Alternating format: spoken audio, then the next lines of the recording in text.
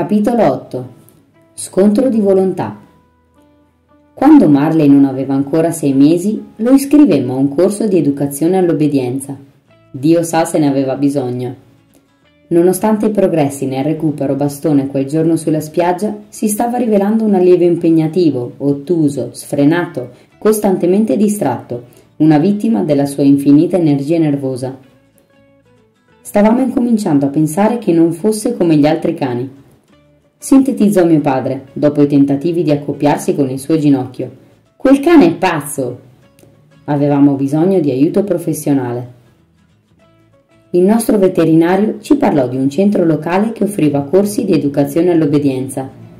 Gli insegnanti erano volontari, seri dilettanti che avevano probabilmente già ottenuto buoni risultati in fatto di comportamento con i loro cani. Il corso era formato da otto lezioni e costava 50 dollari, che ritenevamo un affare, considerando specialmente che Marley poteva distruggere 50 dollari di scarpe in 30 secondi. E il centro garantiva che saremmo tornati a casa dopo il diploma con una specie di lessi. Al momento dell'iscrizione incontrammo la donna che avrebbe tenuto le lezioni. Era un'austera istruttrice di cani che propugnava una teoria secondo la quale non esistevano cani incorreggibili, solo proprietari sventurati e con poca forza di volontà. La prima lezione sembrò dimostrare che aveva ragione. Prima che fossimo scesi completamente dalla macchina, Marley scorse gli altri cani riuniti con i loro padroni sull'asfalto. Un party! Ci scavalcò con un balzo, saltò giù dall'auto e se la squagliò, tirandosi dietro il guinzaglio. Passò velocemente da un cane all'altro, annusando parti intime, perdendo pipì e facendo volare in aria una quantità di sputi. Per Marley era un festival degli odori, così tanti genitali, così poco tempo, e stava cogliendo il momento, attento a mantenersi davanti a me mentre gli correvo dietro. Ogni volta che l'avevo quasi raggiunto, si allontanava ancora un po'. Infine l'ebbi quasi sotto tiro e compì un balzo gigantesco, atterrando con entrambi i piedi sul suo guinzaglio. Questo lo fece arrestare così bruscamente che per un momento pensai di avergli spezzato il collo. Scattò indietro, cadde sul dorso, si girò e mi guardò con la serena espressione di un eroinomane che si è appena fatto la dose. Nel frattempo, l'istruttrice ci stava bruciando con il suo sguardo laser. Prendete il vostro posto, per favore, disse secca, e quando vide che sia io sia Jenny stavamo trascinando Marley in posizione, aggiunse Dovrete decidere chi di voi due farà da conduttore. Cominciai a spiegare che volevamo partecipare entrambi per poter lavorare con lui a casa, ma lei mi interruppe. Un cane, disse categoricamente, può rispondere a un solo padrone. Feci per protestare, ma mi zittì con una delle sue occhiate druci, le stesse che usava probabilmente per ridurre i cani alla sottomissione, e mi defilai con la coda tra le gambe, lasciando il comando padrona Jenny. Questo fu probabilmente un errore. Marley era già notevolmente più forte di Jenny e lo sapeva. La dominatrice aveva appena pronunciato qualche frase sull'importanza di stabilire la supremazia sui nostri cani quando Marley decise che il barboncino dall'altra parte del piazzale meritava un'occhiata più accurata. Partì all'impazzata con Jenny al seguito. Tutti gli altri animali sedevano placidamente accanto ai loro padroni a regolari intervalli di 4 metri, aspettando ulteriori istruzioni. Jenny stava valorosamente combattendo per piantare i piedi a terra e fermare Marley, ma lui si muoveva indomito, trascinandola attraverso il posteggio. Mia moglie assomigliava straordinariamente a uno di quegli appassionati di sci nautico che si fanno trascinare da un potente motoscafo. Stavano guardando tutti. Qualcuno rideva. Io mi coprì gli occhi. Marley non era tipo da presentazioni formali. Si precipitò contro il barboncino e infilò immediatamente il naso tra le sue zampe. Pensavo fosse il modo canino del maschio per chiedere Vieni qui spesso? Dopo che Marley ebbe fatto al collega una completa visita urologica, Jenny riuscì finalmente a ritrascinarlo al posto. La dominatrice annunciò calma. Quello, signori, è un esempio di cane a cui è stato concesso di pensare di essere il maschio alfa del suo branco. In questo momento ha assunto il controllo. Come a provare il suo punto di vista, Marley aggredì la sua coda, girando all'impazzata, facendo schioccare le mascelle e avvolgendo il guinzaglio attorno alle caviglie di Jenny, finché non rimase completamente immobilizzata. Trasalì per lei e ringraziai di non essere al suo posto. L'istruttrice cominciò a far imparare alla classe i comandi di seduto e terra. Jenny ordinava con fermezza: Seduto! E Marley le balzava addosso e le metteva le zampe sulle spalle. Lei gli premeva il sedere per terra e lui si ribaltava per farsi accarezzare la pancia. Cercava di strattonarlo al suo posto e lui afferrava il guinzaglio con i denti, scuotendo la testa di qua e di là come se stesse lottando con un pitone. Uno spettacolo penoso. A un certo punto aprì gli occhi e vidi Jenny sdraiata sull'asfalto a faccia in giù e Marley sopra di lei, che ansimava felice. Più tardi Jenny mi disse che stava cercando di mostrargli il comando a terra. Mentre la lezione si concludeva e Jenny e Marley mi raggiungevano, la dragonessa ci fermò. Dovete controllare di più quell'animale, disse sogghignando. Beh, grazie per il prezioso consiglio e pensare che ci eravamo iscritti solo per procurare distrazione al resto dei partecipanti al corso. Nessuno dei due fiatò. Ci ritirammo in macchina umiliati e tornammo a casa in silenzio. L'unico suono, il forte ansimare di Marley mentre cercava di riprendersi dalla sua prima esperienza di lezione di gruppo. Infine asserì: Una cosa va detta in suo favore. La scuola gli piace da morire. La settimana successiva Marley e io ritornammo, questa volta senza Jenny. Quando le suggerì che io ero probabilmente la cosa più vicina a un cane alfa, rinunciò sollevata al suo fugace titolo di proprietaria e conduttrice e decise che non avrebbe mai più mostrato la faccia in pubblico. Prima di uscire di casa, diedi un colpetto sulla schiena di Marley, lo sovrastai e borbottai nella mia voce più intimidatoria. Sono io il boss. Tu non sei il boss, io sono il boss. Capito, cane alfa? Batté la coda sul pavimento e cercò di rosicchiarmi i polsi. La lezione della sera era basata sul comando al piede, qualcosa che ero molto deciso a insegnargli.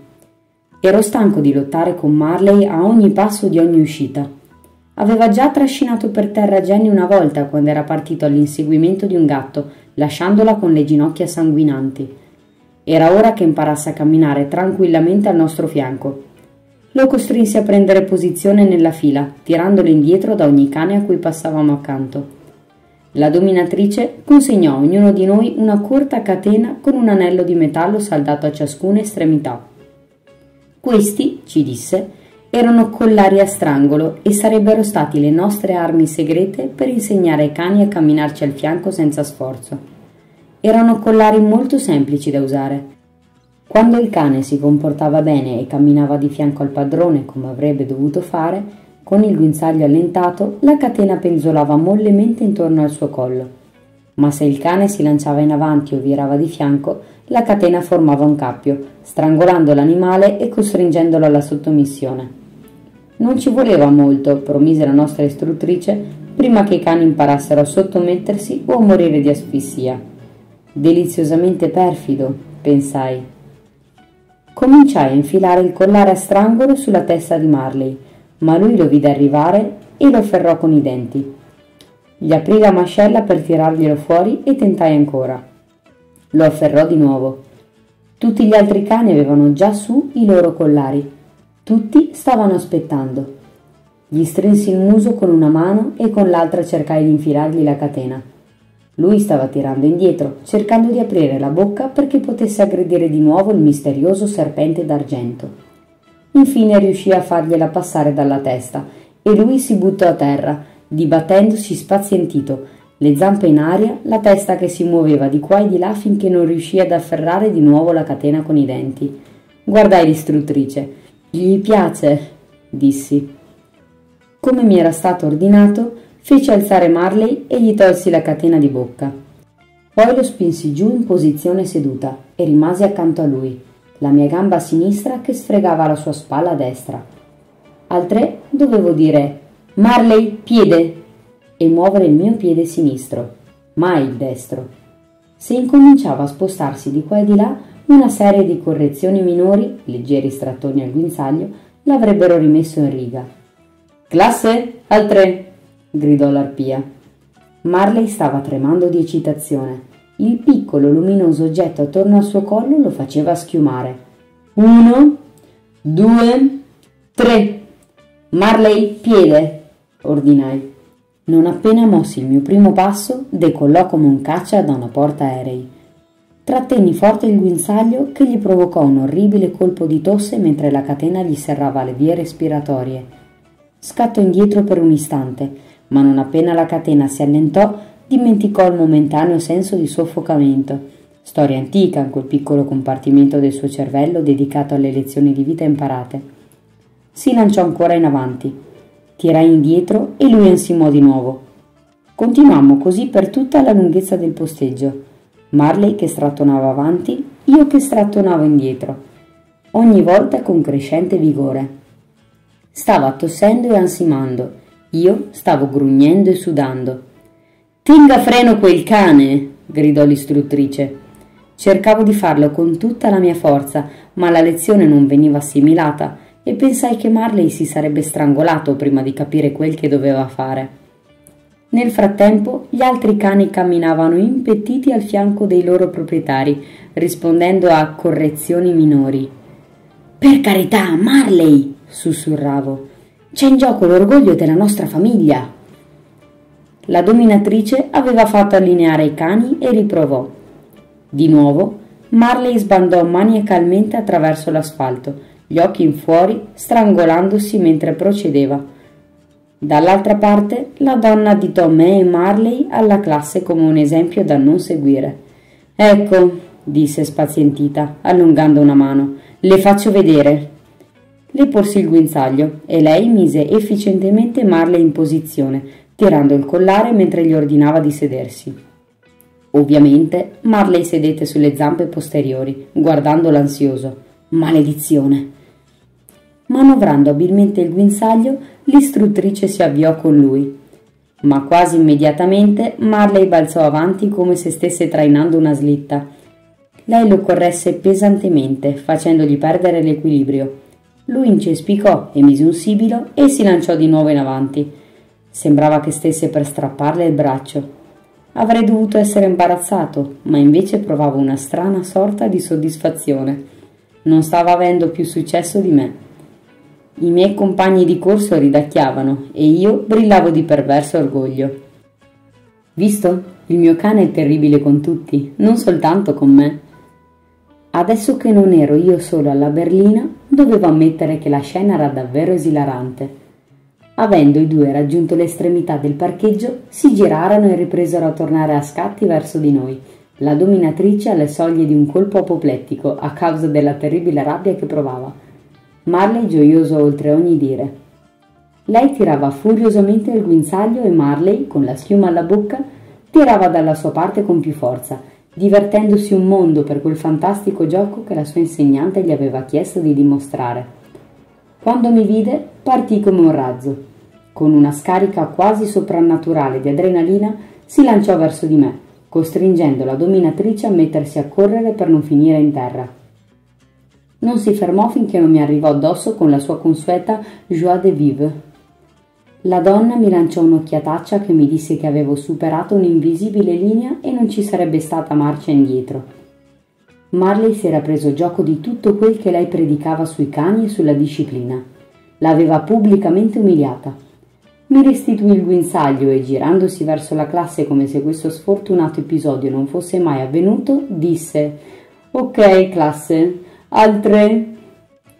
Quando la lezione terminò, mi chiese se potevo restare per un minuto. Attesi con Marley mentre rispondeva pazientemente alle domande degli altri allievi del corso. Quando l'ultimo se ne fu andato, si girò verso di me e in un nuovo tono conciliante disse Credo che il suo cane sia ancora troppo giovane per un corso di educazione all'obbedienza. È una peste, vero? dissi, provando un nuovo senso di cameratismo con lei adesso che avevamo diviso la stessa umiliante esperienza. Non è semplicemente pronto per questo, replicò. Deve crescere ancora un po' per farlo. Cominciai a rendermi conto di dove voleva arrivare. Sta cercando di dirmi è una distrazione per gli altri cani, che ci sta... è troppo eccitabile. Sbattendo fuori dal corso? Può sempre riportarlo fra sei o otto mesi. Allora ci sta sbattendo fuori. Sarò lieta di rimborsarla. Ci sta sbattendo fuori. Sì, disse infine, vi sto sbattendo fuori. Come se avesse preso l'imbeccata, Marley alzò la gamba e si lasciò andare uno schizzo di urina, mancando solo di pochi centimetri il piede dell'amata istruttrice. A volte un uomo ha bisogno di arrabbiarsi per tirare fuori la grinta. L'arpia mi aveva fatto arrabbiare. Ero proprietario di un bel Labrador Retriever di razza, un orgoglioso membro della stirpe famosa per la sua abilità nel guidare ciechi, salvare vittime di disastri, assistere cacciatori e recuperare pesce dalle onde dell'oceano, il tutto con calma e intelligenza. Come osava eliminarlo dopo sole due lezioni? Era un po' vivace, ma anche animato soltanto da buone intenzioni. Avrei dimostrato a quell'insofferente vipera che Grogan's Majestic Marley of Churchill non era uno che si arrendeva facilmente. L'avremmo rivista a Westminster. Per prima cosa il mattino dopo feci uscire in cortile Marley con me. Nessuno sbatte fuori i ragazzi Grogan da un corso di educazione all'obbedienza, gli dissi. Impossibile da addestrare. Vedremo chi è impossibile da addestrare, giusto? Lui saltellava su e giù. Possiamo farcela, Marley? Si scosse. Non ti sento, possiamo farcela? Guai. Così va meglio. Mettiamoci al lavoro adesso. Iniziamo con il comando siedi, che praticavo con lui da quando era un cucciolo e in cui era già bravo.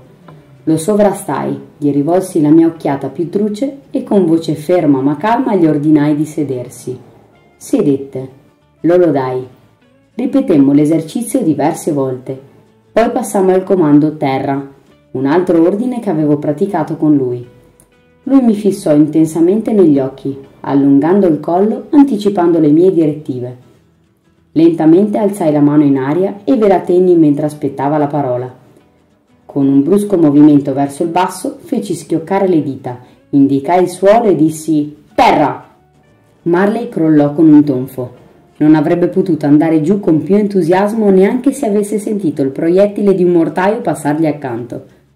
Jenny, seduta sul portico con il suo caffè, lo notò anche lei e gridò Ci siamo!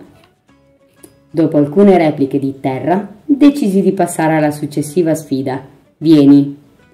Questo era abbastanza difficile per Marley. Non era il fatto di venire il problema, era aspettare il posto finché non lo chiamavamo che non capiva.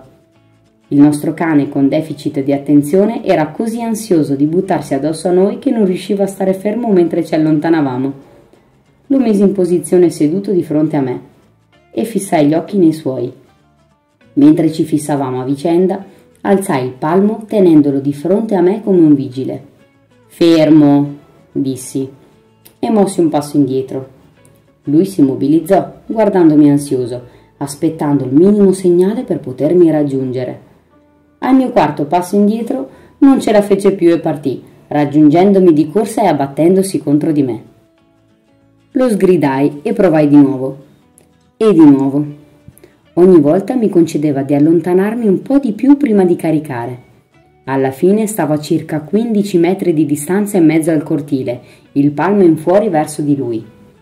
Aspettai. Sedeva bloccato in posizione, l'intero corpo che tremava per l'anticipazione. Potevo vedere l'energia nervosa che si stava accumulando in lui. Era come un vulcano pronto a esplodere. Ma tenne duro. Contai fino a dieci. Non si mosse. Aveva gli occhi fissi su di me, i muscoli sporgenti. Ok, basta tortura, pensai. Abbassai la mano e gridai Marley, vieni! Mentre si catapultava in avanti, mi acquattai e battei le mani per incoraggiarlo. Pensai che avrebbe potuto precipitarsi a casaccio attraverso il cortile, ma venne invece avanti dritto. Perfetto, pensai. Su, bello! Lo incitai. Su! e venne. Stava sopraggiungendo a tutta birra verso di me. Rallenta! dissi, ma continuava ad avanzare. Rallenta! Aveva quell'espressione assente un po' folle sul muso e un istante prima dell'impatto mi resi conto che il pilota aveva abbandonato il timone. Era una mandria impazzita formata da un unico cane. Ebbi il tempo per un ultimo comando. Stop! Gridai. Bam! Mi finì addosso senza rallentare e io caddi indietro, sbattendo forte per terra. Quando aprì gli occhi, qualche secondo dopo, Mi stava a cavalcioni con tutte e quattro le zampe, sdraiato sul mio petto, leccandomi disperatamente la faccia. Come me la sono cavata, boss? Tecnicamente parlando, aveva eseguito esattamente i miei ordini. Dopotutto, non gli avevo detto di fermarsi mentre mi stava raggiungendo. Missione compiuta, asserì con un gemito. Jenny ci sbirciava dalla finestra della cucina e gridò Vada a lavorare. Quando voi due avete finito, non dimenticate di chiudere le finestre. Dovrebbe piovere nel pomeriggio. Concessi uno spuntino al mio giocatore di football, poi feci una doccia e mi recai anch'io al lavoro. Quando arrivai a casa quella sera, Jenny mi stava aspettando alla porta d'ingresso e capii che era sconvolta. Va a vedere in garage, disse. Aprì la porta del garage e la prima cosa che vidi fu Marley, sdraiato sul suo tappeto con l'aria battuta. In quell'istante mi accorsi che il muso e le zampe anteriori avevano qualcosa di strano. Erano di un marrone scuro, non del loro solito giallo chiaro, coperte di sangue secco. Regolai la messa a fuoco e inspirai. Il garage, il nostro indistruttibile bunker, era nel caos. I tappetini erano a brandelli, la pittura era stata scrostata dai muri, l'asse da stiro rovesciata, il rivestimento strappato. Ma in condizioni peggiori era il vano della porta dove mi trovavo. Sembrava che fosse stato attaccato da una macchina per sminuzzare i documenti. Pezzi di legno erano disseminati in un semicerchio di circa 4 metri attorno all'anta, che era semi-sventrata. L'ultima parte dello stipite mancava completamente ed era introvabile. Sangue imbrattava le pareti dove Marley aveva sfregato zampe e muso. Maledizione! esclamai, più sgomento che arrabbiato. La mia mente tornò alla povera signora Nedermeyer e all'assassinio con la sega elettrica al di là della strada. Avevo l'impressione di essere sulla scena di un crimine. Da dietro mi giunse la voce di Jenny. Quando sono tornata a casa per pranzo andava tutto bene, disse ma capivo che stava per piovere. Dopo che era tornata al lavoro, era scoppiato un forte temporale, con scrosci di pioggia, fulmini abbaglianti e tuoni così forti che sembrava che ti si abbattessero sul petto. Quando era arrivata a casa un paio d'ore dopo, Marley, in piedi in mezzo alla carneficina causata dal suo tentativo di fuga, appariva agitatissimo. Era così patetico che Jenny non era riuscita a sgridarlo. Inoltre l'incidente era chiuso, non avrebbe capito perché veniva punito. Ma Jenny si era sentita così affranta per il folle attacco alla nostra nuova casa, la casa per cui avevamo lavorato tanto, che non era riuscita a occuparsene o a occuparsi di lui. Aspetta che torni a casa tuo padre, aveva minacciato e richiuso la porta. A cena cercammo di mettere in prospettiva quella che adesso definivamo sfrenatezza tutto quel che riuscivamo a immaginare era che, solo e terrorizzato mentre si abbatteva il temporale sul quartiere, Marley aveva deciso che la sua unica chance di sopravvivenza era scavare un passaggio che gli permettesse di entrare in casa. Stava probabilmente ascoltando qualche antico istinto trasmessogli dal suo antenato, il lupo, e aveva perseguito l'obiettivo con una zelante efficienza che non avrei mai ritenuto possibile senza l'aiuto di un pesante macchinario. Quando i piatti furono lavati, Jenny e io andammo in garage, dove Marley, di nuovo se stesso, afferrò un giocattolo e ci saltellò attorno, in attesa di un po' di tiro alla fune. Lo tenni fermo mentre Jenny gli strofinava via il sangue dal pelo con una spugna. Poi ci guardò, scodinzolando, mentre facevamo un po' di ordine. Buttammo fuori i tappeti e il rivestimento dell'asse da stiro. Riunimmo con la scopa quel che restava della nostra porta Pulimmo via il sangue dalle pareti e preparammo una lista di materiali da acquistare dal ferramenta per riparare il danno. La prima delle innumerevoli riparazioni che avrei effettuato nel corso della sua vita. Marley sembrava felice di averci lì, a dargli una mano con il suo tentativo di ristrutturazione. Non devi avere quell'aria felice, lo rimproverai e lo condussi dentro per la notte.